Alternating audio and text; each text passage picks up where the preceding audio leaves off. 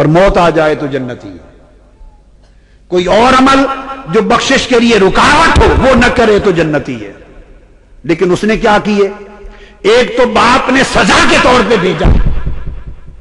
वो तो जाता ही नहीं था और गया ही नहीं था।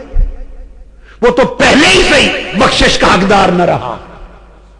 और कुस्तुन दुनिया में शिरकत करके जन्नत उसके हिस्से में लिखी गई और उसके बाद उस बदबख्त ने मार का एक बड़ा बपा किया।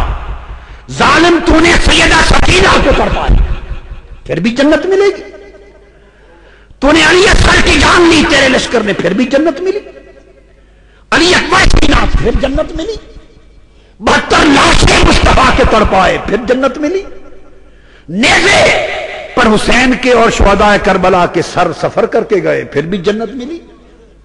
तूने दमिश के दरबार में अपनी छड़ी हुसैन के लबों पर मारी। और कहा, मैंने बदर वालों लोगों का बदला ले लिया, फिर भी जन्नत रही। और मारका करबला के बाद, जब अहले मदीना ने यजीद की बैत तोड़ दी, कुल कुतुबे, हदीस सैर और तारीख में दर्ज है। तो इसने मदीना पर हमला किया। दस हज़ार अहले महीना शहीद कराए शहीद कराए। सात सौ जलील और कदर सिहाबी शहीद कराए। यजीद के लश्कर ने हज़रत अबू सईद खुदरी नाबीना हो गए थे, उनकी दाढ़ी पकड़ के थप्पड़ मारे। मस्जिद नबवी में आजान मुअत्तल कर दी, इकामत मुअत्तल कर दी, नमाज़ मुअत्तल कर दी। तीन दिन मुस्तफ़ा के मजार पर आजान नहीं हुई। मस्जिद नबवी में आजान नहीं हुई।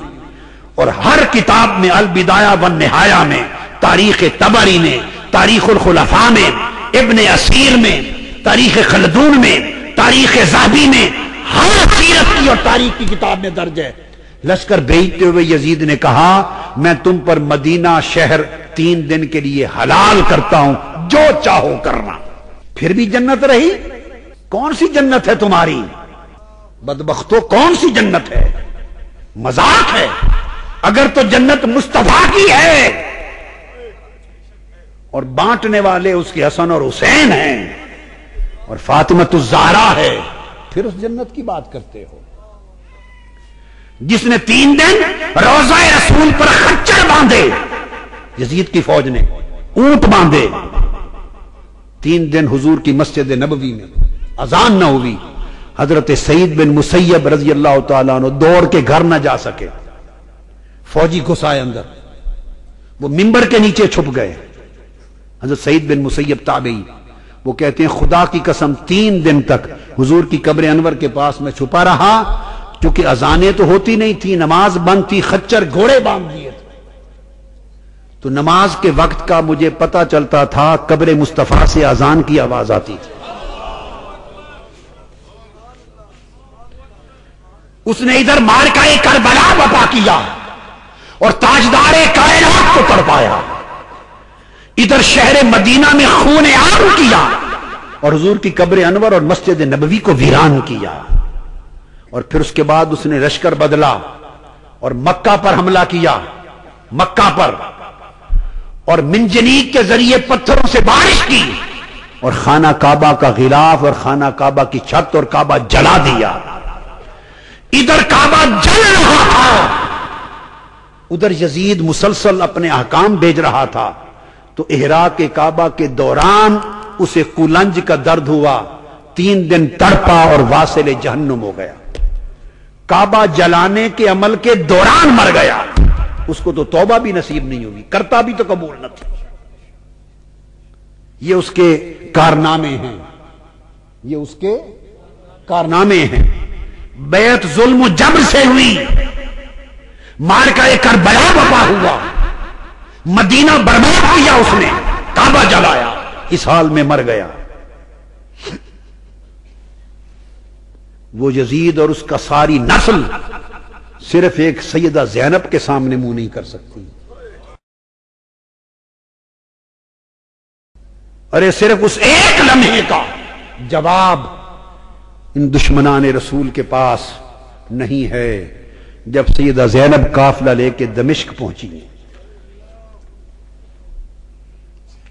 तो बाजारों और घरों की छतों पर लोग जमा हो गए थे। किसी को कुछ पता नहीं था कि ये कटे हुए सर किन के हैं। और जो कैदी आ रहे हैं, ऊंटों पर, कजावों पर, ये कौन है? सिर्फ़ इतना ऐलान किया हुआ था कि हुकूमत के कुछ बागी थे और बागियों को कत्ल कर दिया गया है। अब ये बागियों के सर दरबार यजीद में पहुँचाए जा रहे हैं। लोग बागियों को देखने के लिए छतों पर चढ़ रहे थे। किसी को कुछ खबर, कुछ पहचान न थी। हुजूम हो गया, काफला रुक गया बाज़ार दमिश्क में। आज वो बाज़ार सू के हमीदिया कहलाता है। छता हुआ है आज बाज़ार दमिश्क का। वो रूट था, जहाँ से वो मस्जिद उमवी जो है, उस तरफ़ दरबार यजीद की तरफ़ मुड़ के काफला जाना था। भीड़ हो गई, काफला रुक गया। भूख थी, प्यास थी, परेशान, हाली थी। तो छतों पे जो लोग चढ़ गए थे, उनमें एक खातून भी चढ़ गई थी बूढ़ी। उस खातून ने देखा कैदी हैं, मुसाफिर हैं, परेशान हाल हैं। उसने पानी भेजा, कुछ खाने की चीज़ें भेजी, कुछ कपड़े भेजे, दुपट्टे भेजे, ज़रूरत का सामान भेजा।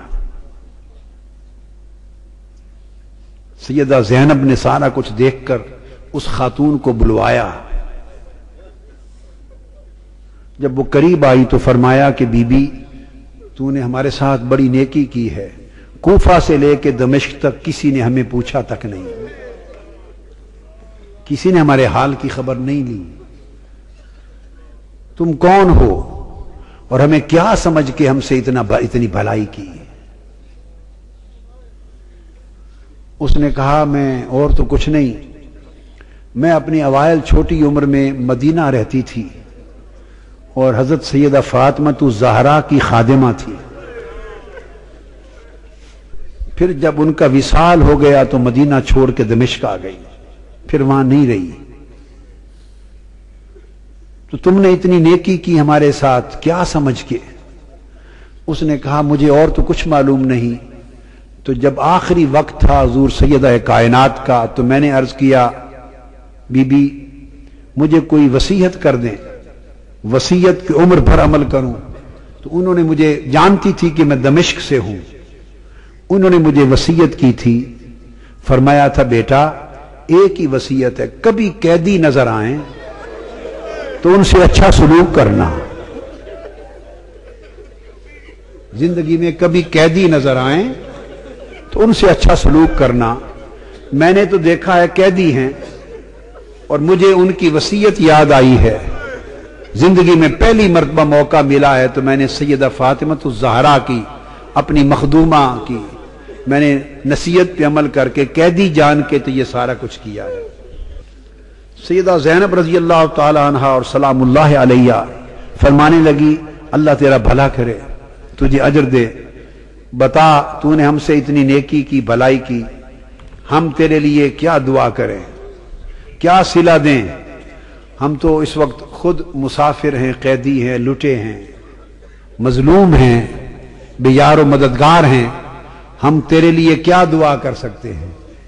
उसने कहा, बीबी, मेरी एक ही आरज़ू है, उम्र भर की, वो दुआ कर दें। पूछा, क्या आरज़ू है? उसने कहा, जब मैं वहाँ से चली थी तो सैदा फातिमत जहरा रज़ी अल्लाह तहा के छोटे छोटे शहजादे थे, हसन, हुसैन और बीबी जैनब, छोटे मासूम बच्चे थे। अब जमाना गुजर गया, जमाना गुजर गया। मेरी उस वक्त से आरज़ू है कि कभी मुझे हुसैन और जैनब की जियारत हो जाए। दुआ कर दे कि मुझे उनकी जियारत नसीब हो। बीबी जैनब ने फरमाया, तेरी दुआ कबूल हो गई। मैं जैनब हूँ जो कैदी हूँ और जिसका सर कटा नेजे पर देख रहे हो, ये हुसैन है।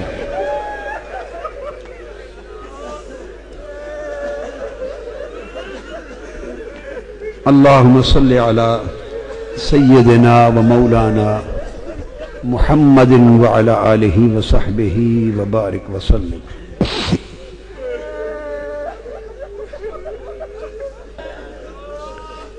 फिर सैदा जैनब काफिला लेकर जब दरबार यजीद में पहुँची हैं